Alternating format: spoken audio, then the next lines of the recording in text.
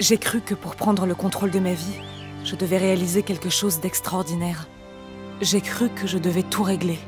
Mais les mystères du monde doivent être appréciés plus que résolus. Et je ne suis que l'une de leurs protectrices. Je ne sais pas ce que me réserve l'avenir, Jonah. Mais quelle que soit l'aventure qui m'attend, j'ai hâte de me mettre au travail. Je vais essayer de ne pas trop me prendre au sérieux.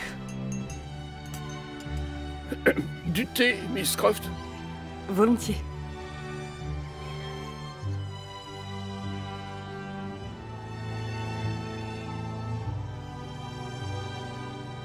Pour l'instant, je suis contente d'être à la maison.